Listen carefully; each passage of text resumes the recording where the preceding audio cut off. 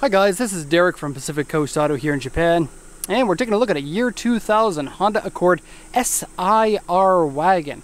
And so this is something that only, maybe only Japan got. Definitely US and Canada didn't get these. This one is bought at auction here in Japan. It's going to be exported to Canada. Now what makes these special is it has the largest displacement H series Honda engine. It's 2.3 liters, puts out 200 horsepower in a station wagon body and so it's the closest you can get in a Honda to a Type R with a station wagon. And these wagons only came with this engine and it's bigger and more powerful than uh, all the other engines in the Accords except for the Type R. So pretty cool. Now this one has 66 413 kilometers these vehicles are quite common at auction, pretty easy to buy them, pretty easy to find them in good condition, and prices are very reasonable. I suppose the only downside with these is that you could never get them with a 5-speed manual transmission, although the automatic transmission does have switchable gears in it, and so I believe you can switch through four of the possibly five gears in the transmission. Okay, so engine runs fine. Oil and coolant both look to be normal. I did open the coolant here so I can see it's a little bit wet around there. But really nothing to say about the uh, engine other than it does sound pretty different from a lot of Honda engines just in terms of the size. It's a uh, long long stroke engine compared to Honda's mostly large bore short stroke engines and so kind of interesting. Not kind of interesting, pretty awesome and sweet. Okay, so let's take a look at the auction sheet, then we'll go around the car and we'll go inside. This car bought from auction, like I said, and is uh, bought for export. So Accord Wagon SIR, something to mention, this version of the Accord is not the same as the American version. For this generation, which I believe is uh, 1997 to 2002, this generation turned into three different Accords, the American one, the Japanese one, and the Euro one. And so uh, it is a little bit confusing, but this isn't the same as the American Accord. I think this one stayed small, or stayed about the same size, while the American one grew for this generation. 66 413 kilometers, auction grade 4 with an interior grade B, so nice high grade there. Uh, no sales points, no notes. These are a dime a dozen kind of cars here in Japan, even though they are really awesome. It's just a different market, and so uh, it's it's definitely on the list of those cars that fly under the radar because they are very cool. Especially put some nice wheels on them. They can be pretty fast. I believe you can get them in four-wheel drive, maybe. The internet said four wheel drive. I've only ever seen the front wheel drive ones that I've paid attention to. This is a CH9 on there, and uh, the seller didn't mention if, what uh, wheel drive that this one is, but I believe it's front wheel drive. So power steering, power windows, alloy wheels, airbag, ABS. And here the auction report says interior is dirty, steering wheel wear, seat is saggy. Not really that saggy, not really that worn, not really that dirty. These are pretty common marks on any of the auction sheets. Uh, the molding is scratched. Here's something weird. Okay, so the molding is this that goes around the windows, and I don't really notice any scratches, but there's some deterioration in the molding that you can really see once you come to this uh, back angle. So see the spottiness of it? And so that's on both sides as well. I'm curious to know what can be done about something like that, because it's pretty common on a lot of cars this age. Uh, in fact, my car, or my company's car, the yellow one back there, has the same problem too. Okay, wiper has rust on it. Beep, beep, beep. Nice that they commented on that because usually they don't. Aero parts are scratched, especially uh, noticeable because it's black plastic it's made out of, and then uh, white car, so lots of contrast there. Various scratches and dents. Front bumper has large scratch or medium scratches, but it's actually really large. And then the rest of the body is pretty much perfect. It has some mild scratches and dents, but they're really uh, almost not noticeable at all. Okay, so much more aggressive looking than the typical Accords of this generation. That front lip spoiler and very fast back for a station wagon give it pretty unique looks, especially outside of Japan. You see these driving around a lot here in Japan. They were pretty popular, even though it has a 2.3 liter engine, which makes them a more expensive vehicle.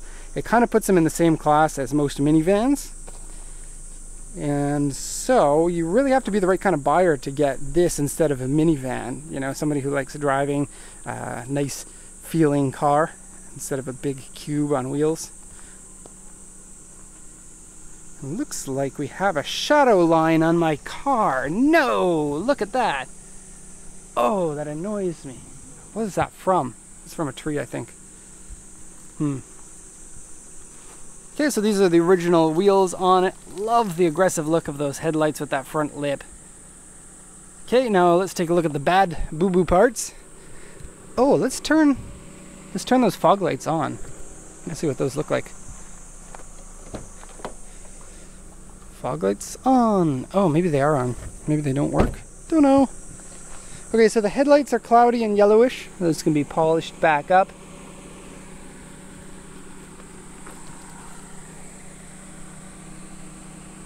It's a fairly low front, kind of reminiscent of like the EF Civics, but of course more modern looking. It has rails molded into the roof. Really aggressive side skirt. Okay, now take a look at the side skirt. It has scratches there on it. And then the biggest scratches are here on the front bumper. And here too.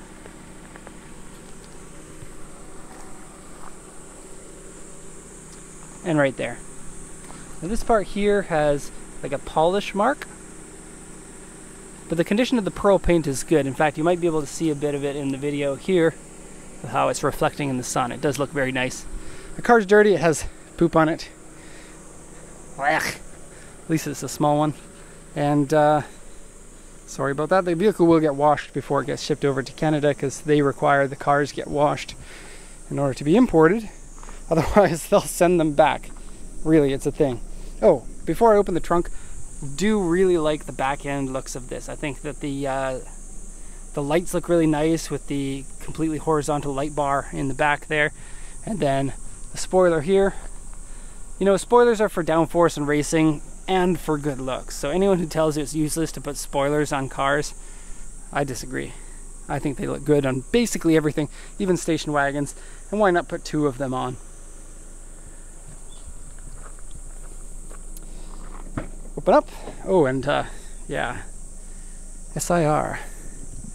So, because of the super fast back, you don't get a lot more room in here than you do in a traditional car, but it's much easier to put stuff in because there's this huge area compared to a trunk. You do have pocket areas here. There's one there and one there as well. Let's pull these tabs up.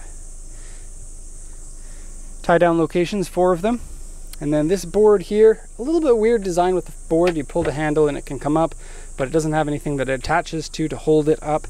And then this net in the back, I just put it there to be out of the way, but that net connects onto here and to these and creates a rear net here so that your groceries that don't fall out of the car. Here's the scenario. You put the groceries in the back, you put them all the way against the seats there and you're thinking, I'm good, thumbs up, I'm so good at putting groceries in the back of my car. Then you drive home with 200 horsepower and VTEC, and then all your groceries fly to the back of the trunk. Then you open this up and they all come flying out, and that's why you need that net here. It's actually a official sports car piece, I think. Racing cars have nets in the back. Okay, uh, going into the back seats, I guess we'll do first before the front seats. Decent amount of room in the back, I would say. Probably a good sized vehicle for a family of four or five.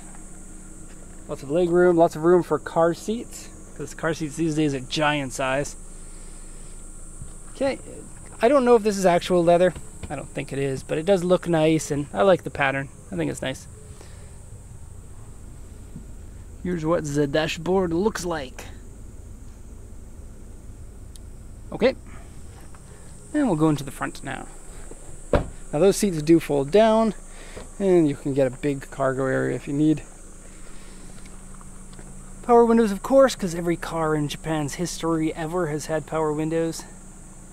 Power folding mirrors. Yeah. Woo! Fog light switch, it doesn't seem to do anything. so here's, apparently this is steering wheel wear. Now have a good look at this because it doesn't look that worn to me.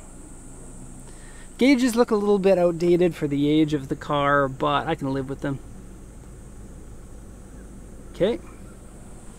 Seats here are uh, nice, but not really that much special. I mean, compared to the regular USDM seats, these are JDM, and that makes them tight, yo.